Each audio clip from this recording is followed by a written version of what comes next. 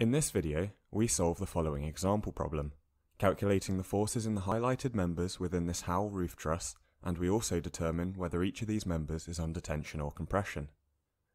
This is Learn Civil Engineering, where we combine theory with example problems to make engineering concepts engaging and easy to understand. So if you haven't already, subscribe to the channel to stay up to date with our content and excel your engineering knowledge. In a previous video, we covered the theory for the method of sections in detail, and we saw that the general steps to the method include starting by calculating the reaction forces at the supports, then dividing the structure into two parts by making a cut through the members we want to solve. Then, whilst treating each side of the truss as its own static structure, we need to solve one of the substructures by taking the sum of all forces to equal zero. And finally, we take the moment relative to a node with more than one unknown members. With that summary, we'll begin to solve our example problem. We have a roof structure which is in the shape of a Howe truss, supported by a roller at node A and a pin support at node L. All the horizontal members of the truss are 2 metres in length, and the vertical members are 1 metre, 2 metre, and 3 metre in length from the outer to the inner members respectively. We also have external loads of 20 kilonewtons being applied to node B and node D which are acting on the structure perpendicularly to the line AF. Using the method of sections, we must calculate the forces in members DF, FG, and GI and determine whether each of these members are being subject to tension or compression. And you're welcome to pause the video here to attempt this question for yourself. So now, let's get into the solution. Before we begin to solve any of the forces, there are a couple of things we can do to help us with the rest of the problem which involves determining the horizontal and vertical components of the forces being applied to the structure. And generally, I'd recommend doing this for most questions within structural analysis, as they greatly simplify the following steps. First of all, we can acknowledge that we can use the concept of similar shapes to simplify the external loads. Similar shapes are shapes of the same proportion, and so can become identical after being scaled, rotated, or flipped. Here we can see that the right angle triangle with a width of 2 meters and a height of 1 meter can be scaled and rotated to help us find the horizontal and vertical components of the 20 kilonewton external forces. The horizontal and vertical components of the external forces will be needed for resolving the horizontal and vertical forces later on, so let's work out these components. To start, with a horizontal length of 2 meters and a vertical length of 1 meter, Using Pythagoras' theorem, we can calculate that the length of the hypotenuse of the triangle is equal to the square root of 2 squared plus 1 squared, which equals the square root of 5 meters. Now, for the horizontal component of the external forces, we have the external force of 20 kilonewtons over a length of root 5 meters, and we have the horizontal component, Fx, over a length of 1 meter, with the angle between the external force and the vertical plane being theta.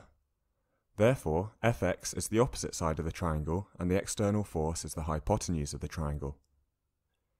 Using trigonometry, we can work out that Fx is equal to 20 kilonewtons times sine theta, where sine theta is equal to the opposite over the hypotenuse, which equals 1 over the square root of 5. Therefore, the horizontal component of the external force, Fx, equals 20 times 1 over root 5, which equals 8.944 kilonewtons to three decimal places. Now, doing the same for the vertical component, we have the external force of 20 kilonewtons over a length of root 5 meters, and we have the vertical component, Fy, over a length of 2 meters, with the angle between the external force and the vertical plane still being theta. Therefore, Fy is the adjacent side of the triangle, and the external force is the hypotenuse of the triangle. Using trigonometry, we can work out that Fy is equal to 20 kilonewtons times cos theta, where cos theta is equal to the adjacent over the hypotenuse, which equals 2 over the square root of 5. Therefore, the vertical component of the external force, Fy, equals 20 times 2 over root 5, which equals 17.889 kilonewtons to 3 decimal places. Having determined the horizontal and vertical components of the external forces, we can start to work out the forces in the required members. We will need to work out the reaction forces at the supports, RAV, RLV, and RLH, but before we do that, let's see where we will make our cut to divide the structure into two substructures. We have to find the internal forces in members DF, FG, and GI. so we will cut our structure through members DF, FG, GH, and GI like so. And this leaves us with two separate trusses, which we will consider as independent structures from now on. For this example problem, we will consider only the left-hand structure, so we only need to determine the reaction force at node A before we can discard the right-hand structure. To calculate RAV, we will consider the entire structure, taking the moments about node L, as this eliminates all unknowns from the equation except for RAV. As the structure is in equilibrium, the sum of all moments about a point must be equal to zero. So, taking the anticlockwise rotation direction to be positive, the sum of moments about node L is equal to 12 RAV plus 1 times 8.944 plus 2 times 8.944 minus 10 times 17.899 minus 8 times 17.899, which equals 0.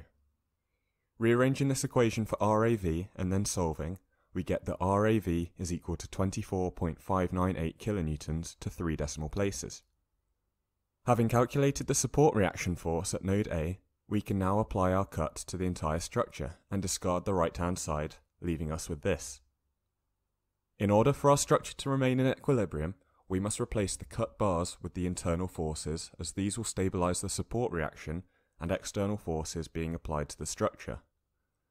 Doing so, we have internal forces FDF, FFG, FGH, and FGI, like so.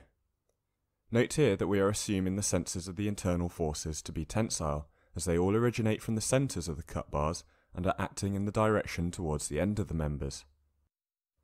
Before we go on to the sum of the moments about any of the nodes, we are going to identify which members in the truss have internal forces of zero magnitude, and we will do this by inspection.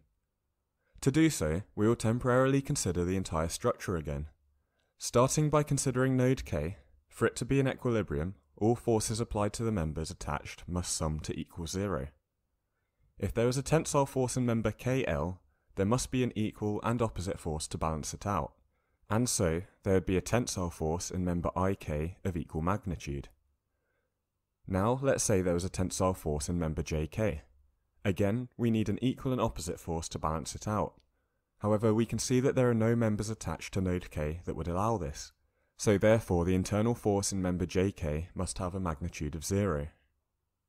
We will now apply this logic as we work through the structure. At node J, an internal force in member JL can be balanced out by an equal and opposite force in member HJ. However, with the internal force in JK equaling 0, there are no other members attached to node J that could balance out an internal force in member IJ. So member IJ has an internal force of magnitude 0. At node I, an internal force in member IK can be balanced out by an equal and opposite force in member GI. However, with the internal force in ij equaling 0, there are no other members attached to node i that could balance out an internal force in member hi. So, member hi has an internal force of magnitude 0. And finally, at node h, an internal force in member hj can be balanced out by an equal and opposite force in member fh. However, with the internal force in hi equaling 0, there are no other members attached to node H that could balance out an internal force in member GH, so member GH has an internal force of magnitude 0. And notice here that we have just solved our first unknown, which will make solving the rest of our problem a lot easier. Going back to the left side of our structure then, we will determine force FDF by equating all moments about node G to equal 0. We have chosen this node to start as it eliminates the other unknowns from our equation. So, taking the anticlockwise rotation direction to be positive, the sum of all moments about node G equals negative 24.598 times 6 plus 17.889 times 4 plus 2 minus 8.944 times 1 plus 2 minus 6 over root 5 times FDF, which is equal to 0. Rearranging for FDF and solving, we get FDF equals negative 25 kilonewtons. For member DF, as we assume the internal force to be tensile, and our value for FDF is negative, the force of 25 kilonewtons in member DF is compressive. Now, to solve the internal force in member FG, we will repeat this process, taking the moments about node A to equal 0, as this eliminates unknown FGI from the equation. Taking the anticlockwise rotation direction to be positive, the sum of all moments about node A equals negative 17.889 times 2 plus 4 minus 8.944 times 1 plus 2 plus 6 FFG, which is equal to 0. Rearranging for FFG and solving, we get FFG is equal to 22.36 kilonewtons, and as we assumed the internal force in member FG to be tensile, and our value for FFG is positive, the force of 23.36 kilonewtons in member FG is tensile. Finally, to solve the internal force in member GI, we will take the moments about node F to equal zero. For the last time, taking the anticlockwise rotation direction to be positive, the sum of all moments about node F is equal to 17.889 times 4 plus 2 plus 8.944 times 2 plus 1 minus 24.958 times 6 plus 3 times FGI, which is equal to 0. Rearranging for FGI and solving, we get FGI is equal to 4.47 kilonewtons, and as we assume the internal force in member GI to be tensile, and our value for FGI is positive, the force of 4.47 kilonewtons in member GI is tensile. So, going back to our original diagram, we can conclude that the force in member DF is 25 kilonewtons and is applying compression to the member. The force in member FG is 22.36 kilonewtons and is applying tension to the member, and the force in member GI is 4.47 kilonewtons and is also applying tension to the member. If you did attempt that question yourself and got the correct answers, then well done. And to get notified when the next video is released, subscribe to the channel and leave a like on the video. This has been a video by Learn Civil Engineering. If you have found this video useful at all, please leave a like and subscribe to the channel to show your support. If you do have any remaining questions or would like me to cover a specific topic, please leave them in the comment section below and I will try to respond as soon as possible. Thank you for watching.